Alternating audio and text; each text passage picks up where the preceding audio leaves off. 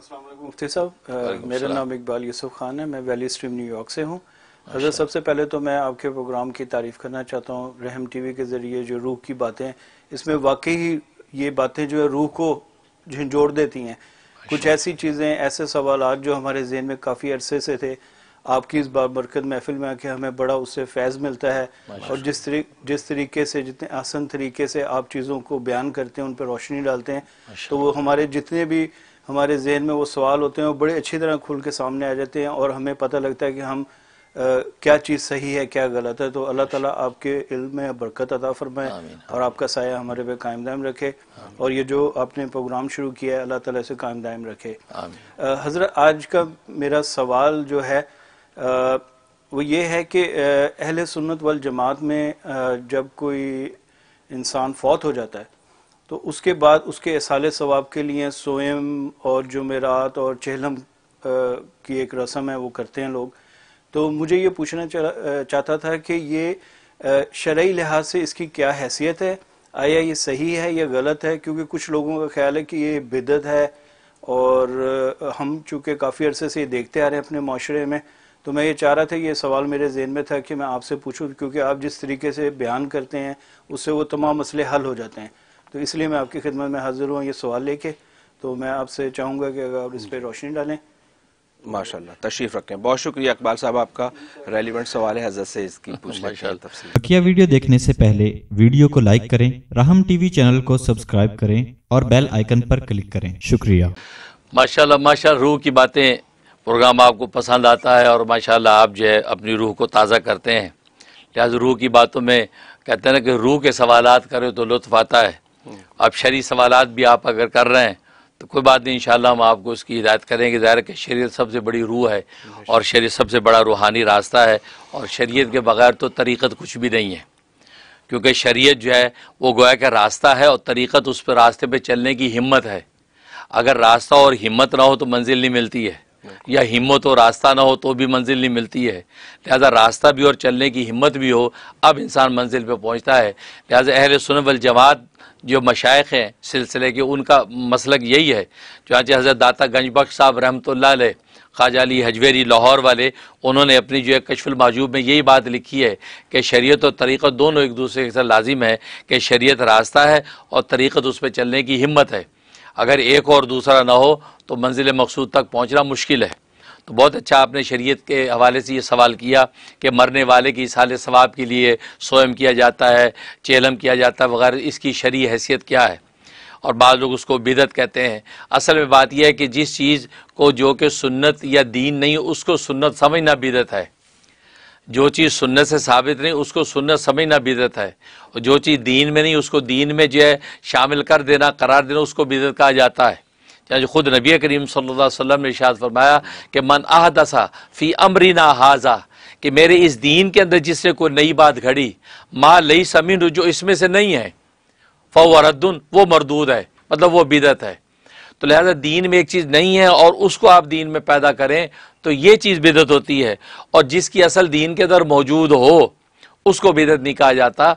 और ये कुरान करीम पढ़ के हम जो इसाले सवाब करते हैं इसाले सवाब करते। इसाले सवाब करना शरीय से साबित है। चुनाचे खुद नबी करीम सल्लल्लाहु अलैहि की आदीस मौजूद हैं। चुनाचे उसमें इंसान जो है तस्बियात पढ़ के तिलावत करके, कुरान करीम पढ़ के और माली सदका दे के, नवाफिल पढ़ के, नवाफिल रोज़े रख के ये सारे सवाब करता है।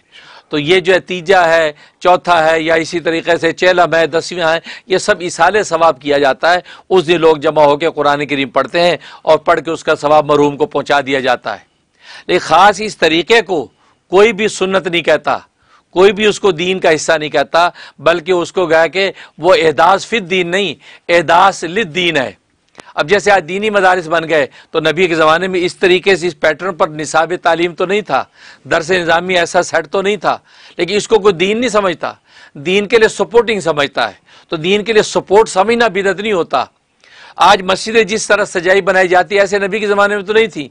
लेकिन ये दीन के लिए सपोर्ट है। आज नरम कालीन बिछा दी जाते लोगों को नमाज़ पढ़ने से सुकून मिलता है। तो दीन के लिए नमाज़ के लिए ज़्यादा सपोर्टिंग चीज़ें हैं। तो एहदास फिर दीन बिदत होता है। दी, दीन के अंदर नई चीज़ करना। एहदास लिद दीन। दीन की बेहतरी के लिए कोई चीज़ करना वो बिदत नहीं। तो इसाले सवाब का ये तरीका जो है अगर अपना लिया गया कि तीजा तीसरे दिन के अंदर जमा होने को इंतजामी मसले समझे। कि आज तीसरे दिन चूँकि लोगों को दूर परे से आना, क्योंकि तीन दिन का आदत ऐसा है कि दुनिया भर में आज तेज रफ्तार जहाज़ों के दौर में भी किसी ना किसी जगह पर तीन दिन के अंदर पहुँच ही जाता आदमी। तीन दिन में लाजमी पहुँच ही जाता है, दुनिया किसी खत्ते पर भी हो, कितनी भी फ़्लाइट दूर हो, लेकिन तीन दिन के अंदर अंदर पहुँचता है। लिहाजा तीजा रख दिया कि तीसरे दिन तक कोई भी मुसाफिर दूसरी दुनिया से आके ताजियत के लिए बैठ जाएगा, लिहाजा वहाँ बैठ के वो इसाले सवाब कर लेगा। कुरान पढ़ के मरूम को बख्श देगा, कुल अल्लाह पढ़ के बख्श देगा तस्बियात करके बख्श देगा। तो इसाल सवाब के लिए दिन का तो तयन है, इसको इंतज़ामी मसले समझे, इसको सुन्नत या दीन ना समझे। इसे चेलम है, चौथे चालीसवें दिन में जमा हो गए, अब इसारे सवाब कर दिया। तो उसको सुन्नत या दीन ना समझें, उसको इंतज़ामी मसले समझें कि तेज़ रफ्तार दुनिया में लोग रोज़ इकट्ठे नहीं हो सकते, लिहाजा एक दिन रख लें, एक सर्टन मुद्दत के बाद जमा हो जाए और जमा हो के अब इसाल सवाब मरूम को कर दें। या साल के बाद इकट्ठे हो गए, बरसी या साल के बाद जमा हो गए। जमा होकर जो है, वो सही साल सवाब करके दुआ कर दी, गरीबों को खाना खिला दिया। तो इसलिए जो है, पीरान पीर जो है, अज जो सैद तायफा, अजा हाजी इमदादुल्ला महाजर मक्की रहमत जो तमाम देवबंद और तमाम बरेलवी के पीरो मुर्शद हैं। उन्होंने कुल्लियात इमदादिया में ये बात लिखी है कि जो इसाले सवाब करते हैं, तीजा चालीसवा करते हैं, वो दिनों के तयन को इंतज़ामी मसले समझें, उसको दीन या सुन्नत ना समझें। और वहाँ बैठ के कुरान जो है वो तस्बियात पढ़ के बख्श दें, और ज़ाहिर कि इसाले सवाब करना, ये तो खुद सुन्नत शरिया से साबित है, लिहाजा इसाले सवाब किया जाता है। भाई इंटेंशन को आप दुरुस्त कर लें कि तीजे दिन में जमा होना सुन्नत या दीन का हिस्सा नहीं, बल्कि हमारे इंतज़ामी मसरत है जैसे आज हमने जो है एवरी सैटरडे महफिल ज़िक्र रखी हुई है, नौ बजे।